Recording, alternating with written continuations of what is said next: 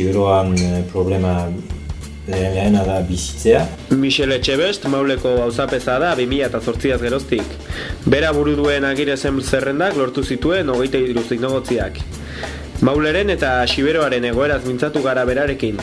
Siberotarrak euskaldunak direla iztun gisa, baina ez nortasunez azaldu digu. Siberuan, Siberoko problema da, Sibero de, dela provintzia arrunte txikia, txipia, eta hamahiu bizizale badia mementoan, biztanle, hoietan ez dakit erdiak edo herrenak euskara emaiten duen, baina bon, euskara emaiten badu da Siberotara, eta horren herrena hartzen bada, lau mila jente da, oso gutxi, lau mila da oso gutxi. Horik dira euskaldunak, baina euskaldunak izaitez ez eta ez eta nortasunez edo espirituz ba, euskaraz bizi direnak. Ezin dugu ofizializatu euskara, ezin da, eta horrek bere hiltzea ekartzen du, bere baitan, eh? ezin bada hori ofizialatu, ofizializatu, hilgo da. Bere helburu nagusia maule bizir berritzea dela esan du. Maule bizi bada, Siberoa biziko da. Arankura handien ez da, eh, ez dugu bigik, bat dago, baino dago, da eh, herri hau aski dinamizatzea, eh, berriz eh, jente kopurua go, goiti eramateko. Eh, nik lan egiten dut eh, nortasuna, gure nortasuna dela indar bat, Euskaldun izatea dela indar bat, eh, orduan hizkuntza, orduan eh, eh, Euskalduna gertzea, gu, gure buruaz ez eh, lotxa izatea, edo ahalki izatea, xibotak egiten bezala, Ba, hori da indar bat.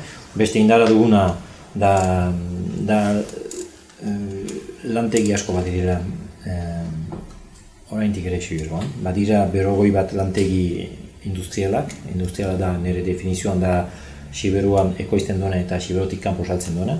Asko delegatzen dut, asko asko, nik ideia edo, edo helburua erakusten dut, eta gero jenteak ahal bezala egin dezala. Zer da bertzadea.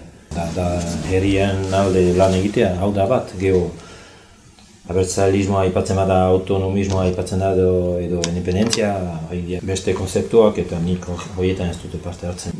Jentea bozkatzen du gizon bat edo emazte batentzat ez partido bat bai gorago joaten bada, baina hola eri botzetan eta kantonamentu botzetan gehiago jentea bozkatzen da. Emek emek eratzen da, bai, frantzesten da, e, provintzia txikia. Siberoa oloreni lotua da. Ez du administratiboki loturarik gainerako euskal lurraldeekin. Baina euskal lurraldeen arteko batasuna lortzeko lanean ari direla azaldu digu etxe beste. administratiboki oloroneri lotuak da Siberua. Aspaldidanik abiatua da lan bat e, garapen kontseiluekin Euskal Herrian, Baiunan, e, kokatzen dena bena Euskal Herri guzia e, estaltzen eta tapatzen duela eta Siberua ere bai, barne. Hora aipatzen da mm, behar mugituko direla um, lurantolak eta ez da bada bat bada mementuan. Behar bada egun batez oloruneko den azpi zu prefektura hori, egun batez zapartatuko da. Eta pentsatzen dut ene bizian ikusi gutara. E, e, Siberoa e, formalki eta legalki lotua Euskal Herriai mena amistazioari. Dena, pentsatzen dut egun batez eta behar bada ez ez hogeita amaretan dugu. Lamat egiten dugu, nik lamat egiten dut, jenteak nortasuna bere, afen, bere eskura dezan, jakin dezen euskalduna dela,